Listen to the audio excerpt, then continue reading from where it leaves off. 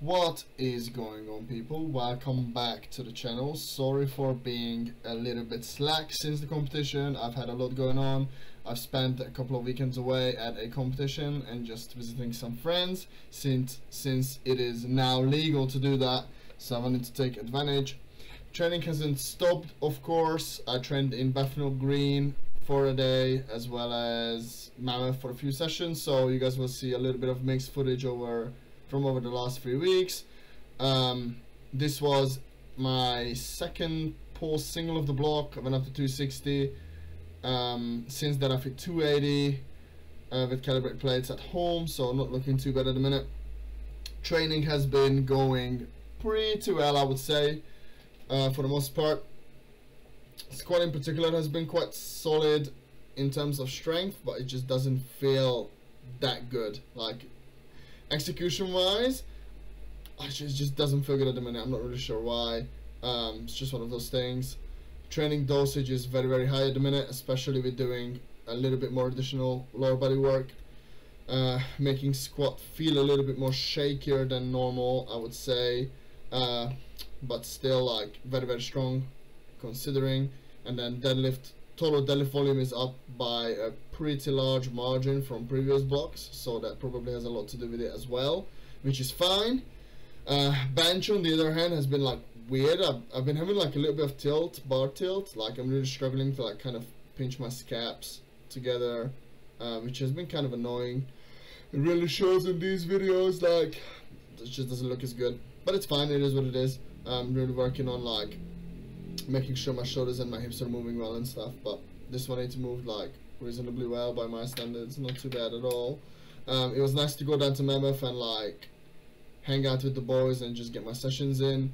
I've been trying to pause my back off work a lot longer on bench um, as of late just making sure um, I'm sticking to like really high standards. I'm expecting like pretty pretty strict judging at the British in like three months time so I want to be prepared for the worst and not be prepared for the best. Um, uh, I've been doing a lot more like what you would consider non-specific pressing volume. So like I've been going away from the barbell secondary movements for a couple of sessions a week and that's been helping a lot just keeping training a little bit more exciting on one end which is in my opinion excuse me should always be a consideration as well as just um, perhaps having a little bit more time away from like secondary barbell movements will allow for better progression in the future um, especially since I got ages till I compete. I'm not I'm in no particular rush of being strong. I'm just like really trying to like build some good technical habits and like feeling good under the bar and just generally like making sure that like all my habits are like where they need to be. So when it's time to crank things up I'm ready. I don't know why I'm yawning all the time. I'm not even that tired. Anyway um, in terms of training, what training is looking like at the minute, I am training five days a week, same as always. The split really hasn't changed. I've got SBD on Monday, bench only on Tuesday, Wednesday off.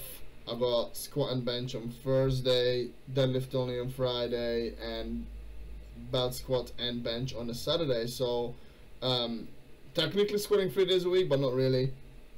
And I'm benching four days a week and deadlifting two times a week right now. So that's been pretty good. Um, one thing I must say is like, especially in these videos that you see right now, which are like week two, my back was like absolutely roasted, so locking out was like pretty painful. Um, so this 280 wasn't as good as it could have been, but that's all good. I did 290 last week and 300 this week, excuse me. On the other hand, these like wide grip RDLs have been like absolutely phenomenal for me. I feel like um, I'm getting a lot out of these and these are very challenging without building up a lot without building up a lot of systemic fatigue. Um, so that's been great as well. Just like really trying to grow the hamstrings, trying to grow the back, build for a big total. Um, I've been doing a lot more horizontal and vertical pulling as well. You can see I'm doing some dumbbell rows here. I've been doing some dips. I've been doing some incline dumbbell presses.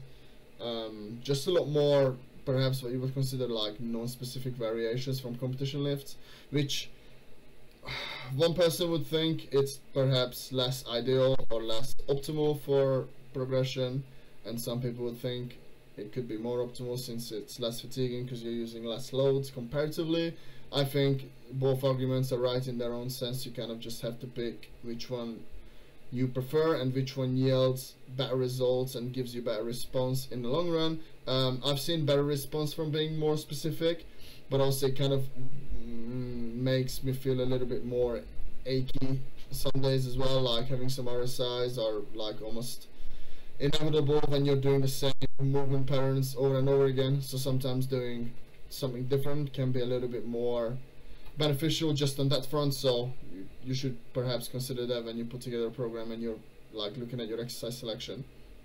Uh, high bar on the other hand has been pretty good. Um, I hit 232 last week and then no 242 last week or 240 and I did 235 last the week before.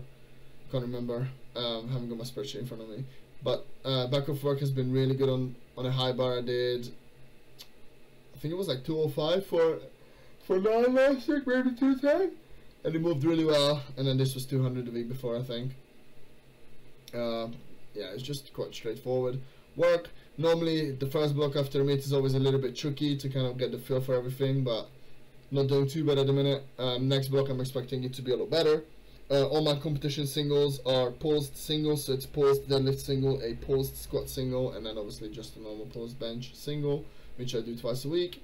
Um, this 187 wasn't too bad. I would have been happier with a better pause, but that's all good. And then I had, if I remember correctly, correctly it's that's 5 and 155.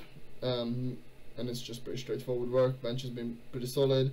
Yesterday I hit 164.7 at RPE8 on bench as well, so not looking too bad considering. Normally I get a nice little boost when I go more specific. Um, and then my close grip work has just been absolutely phenomenal. Like I always struggled with like a narrower grip and longer range of movement, but uh, having 115 for like sets of 12 is like very very good for me. And then I've been doing a lot more pull-ups, kind of taking a step away from the pull-down machine. Um, again, it's like they both have their benefits. Obviously, with the pull-downs, you can measure the progression of weight and then with the pull-ups it's just a little bit more demanding. Um, so perhaps you can just weigh out which one you want to do. Um, and then this deadlift set was at the end of an SBD day because I had to do three days of training in two. I had 250 for 9 uh, which I think is a PR on calibrated plates. I can't remember if I've done 250 for 10 on like gym plates and like a gym bar like a long time ago. But uh, yeah that's been pretty good uh, that's been like super solid. Um, haven't really changed all that much other than just doing a little bit more high repetition work and see if it kind of pays off. And then obviously just the usual wide wide grip uh, deadlifts. You just sets off 10 here with 150. not looking to push these up until the end of next block when I'd like to take like 190 or 200 for sets of 10, uh, which would be pretty solid.